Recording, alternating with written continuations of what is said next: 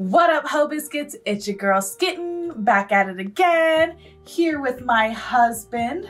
First and foremost, I hope you guys are doing well. I hope you guys are staying safe and sanitized. it is now your turn to speak. They're not. Everybody's coughing. but hopefully it doesn't ruin your holiday spirit because Thanksgiving is coming up. Right around the corner. My wife wanted to celebrate it with violent animal videos. Yeah, so I was just sitting here like, okay, let's watch some Casual Geographic. Like, we haven't watched Casual Geographic in a while. Listen to the titles of his most recent three videos. I'm ready. How a camel's bad habit can put you in a coffin.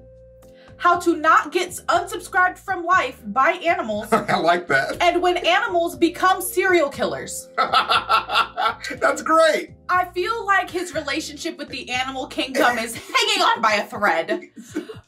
Unsubscribe from life. That's uh, good. This video is how to not get unsubscribed from life by animals because the other one had a disclaimer in front of it about how graphic the descriptions were. Wait, I want that one. And I didn't feel like I could handle that.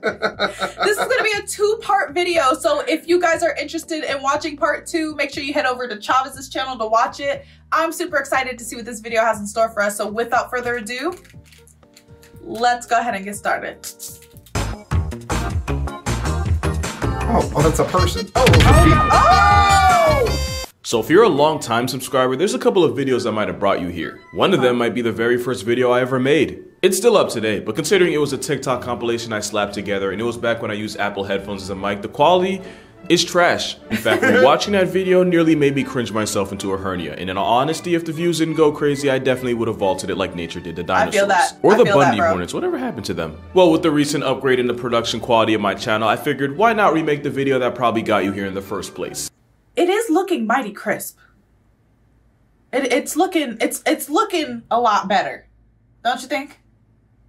Can I give an honest opinion or you want the YouTube opinion? What? The glare on the bottom right from the green screen, I feel that. Oh and second of all, God. I kind of miss it. I kind of miss the earbud quality, okay, but I am appreciating okay, okay. the upgrade. Okay, I, I feel what you're saying. Yeah. But we have to let the people that we love grow. I know, it's so hard. I want it to stay the same. Go ahead and grow. Flourish, please. Flourish. In abundance. Yeah, in, in abundance. abundance. So here's how to survive a moose attack. You don't actually have a choice in the matter. You see, the key word here is attack. The road to getting a moose aggravated often comes with a toll price of your life. And honestly, you're probably safer in front of a bear than a 10 foot tank with antlers. With predators, you can convince them that you're not worth the effort. Right. But there is no negotiating with something that thinks you're actively trying to turn it into calories. So the best way to survive a moose attack is to not even let it get to that point. Okay. So here are some signs that a moose is considering turning you from one of a kind to another in a pine. If okay. a moose stops eating or drinking and suddenly stares at you. You oh. got the moose's attention and it's in your life's interest to give it back. Mm -hmm. If a moose shows you the whites of his eyes, soon you'll be seeing the sight of God's skies. And if the ears are pinned back, his mind's on attack. And this goes for pretty much all animals. Once True. the ears go flat, then the next few seconds are going to be very crucial to continuing your way of life. Right. And I don't entirely know why, but if a moose urinates while looking at you, it's a sign of ill intent. I'm guessing it's like a territorial thing, it but is. wherever you came from is where you need to be heading. Yep. And if a moose lowers his head and starts approaching you, that is likely the last warning that doesn't come with a hospital bill. Of course, none of that really matters because a four-legged armored oh, truck no. with the ability oh, no. to make conscious choices could just choose to charge you unprovoked. Because there is no playbook in nature that the Musai is going to follow. Why did nobody leave? They're all standing and watching in amazement. Oh my lord. He's so unconcerned. He's a little concerned. He's not concerned at all. A guy in the red. Why are you guys run for your life? He took out a baby. He didn't go to the biggest threat.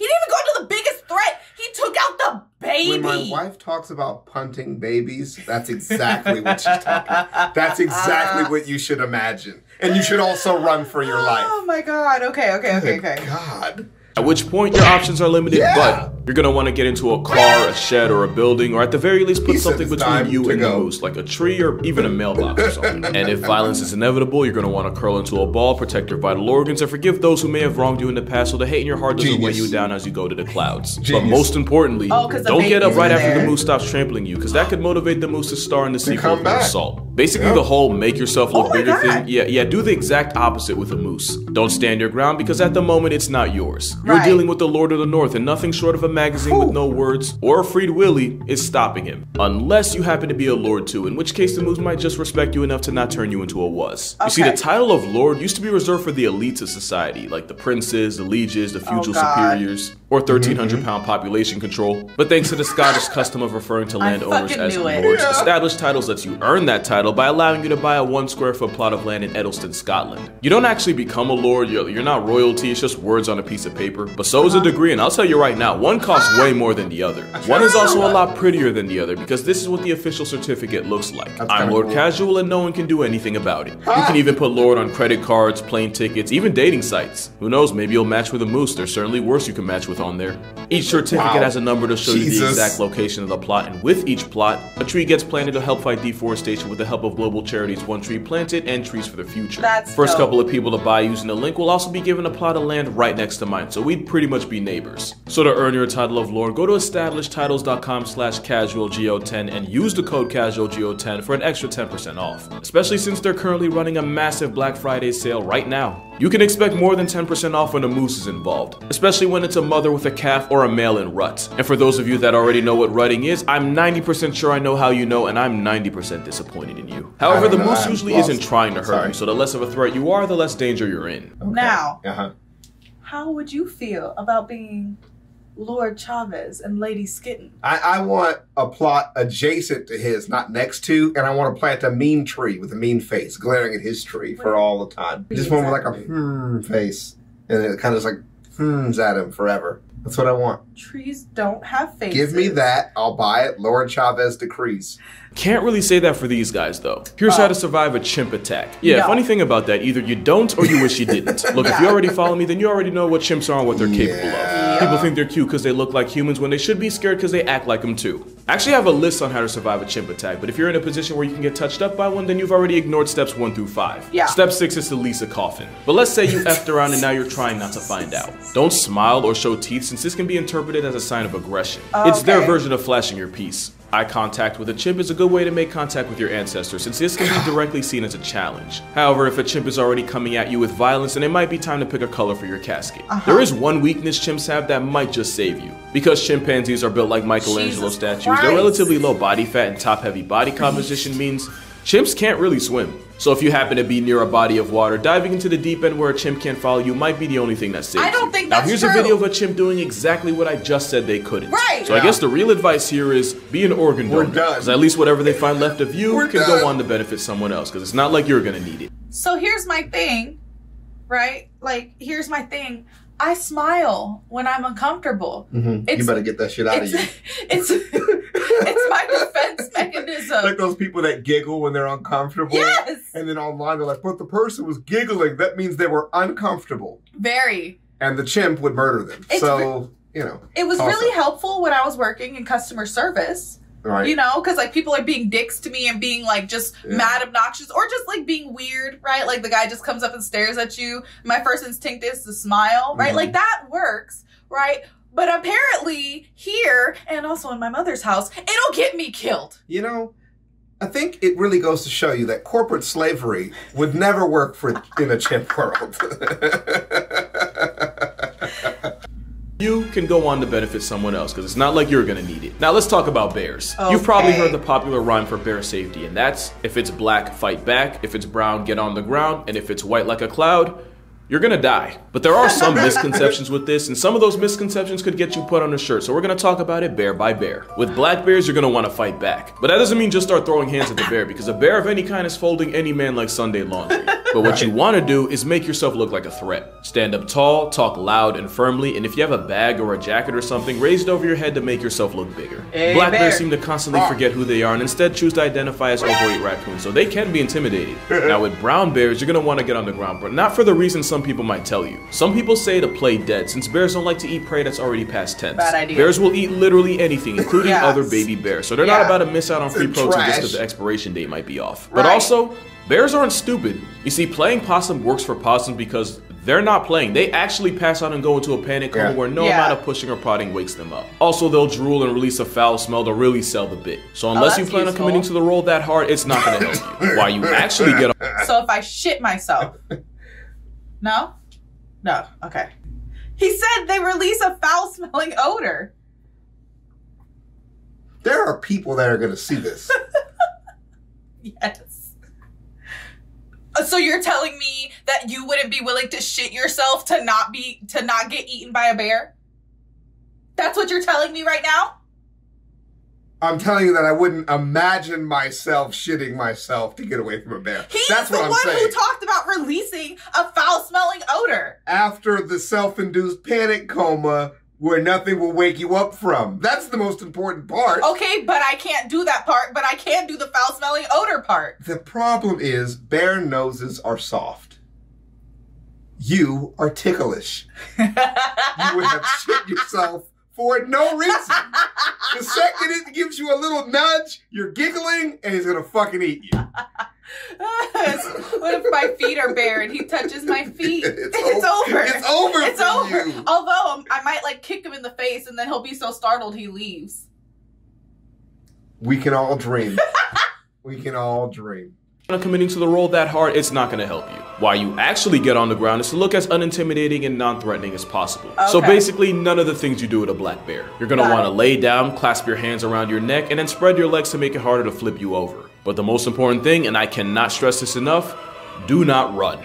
A bear can keep pace with a horse Look over a at short distance, so all running This does is is guarantee you get made into a memory sooner. Especially since bears are the largest terrestrial predators on the planet while also having the endurance of a CrossFit junkie. And sometimes the bear will test their instincts by charging. Most charges, mm-hmm. however, are bluffs, and the worst thing you can do for your health is do to a race with a homicide case with paws. Also, whoever said bears can't run downhill was actively trying to sell the human race. Yes, they can, and thinking they can't will be your downfall. Who but the best that? way to survive Yeah, a bear attack it. is to avoid one in the first place. So if you're ever hiking in bear country, you're actually gonna want to make noise, which sounds counterintuitive, but making a lot of noise actually tells the bear where you are and allows it to avoid conflict in the first place. Also, since bears have a hypersensitive nose and sense of smell, carrying bear spray can be the difference between going home in peace and resting there in pieces.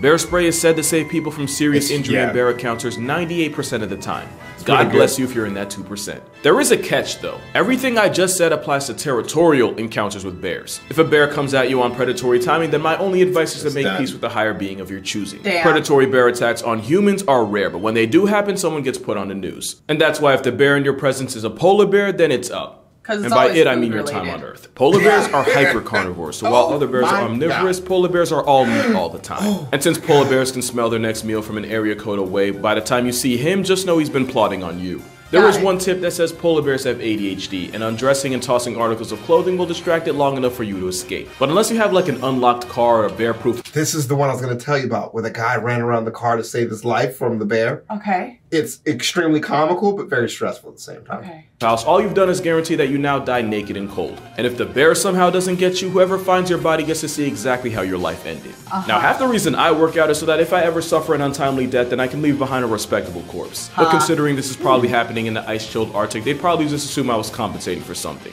If you know, you know. The guys sure do. But yeah, if it's black, fight back. If it's brown, you better hug the ground. And if it's white like nose powder, then it's finna be your final hour. and then he moves into hippos, which is going to be terrifying.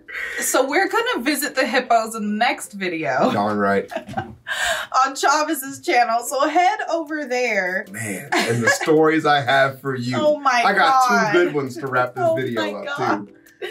Um, that was very informative.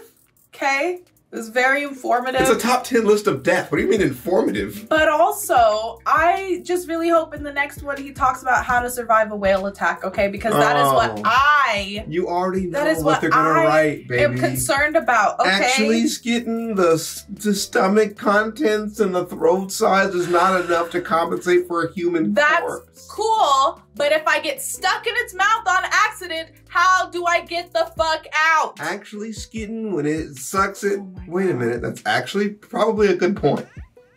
I understand. Look, everyone, By everyone, shitting yourself, maybe it'll throw you up. you're never gonna let me live it down, are you? Your mom sure wouldn't. Oh I would. my god! I hope you guys enjoyed this video. I'm leaving. I'm going somewhere. My, hair just like sabotaged me so bad. Um, I'm going somewhere where the disrespect is not as potent as when I shit myself.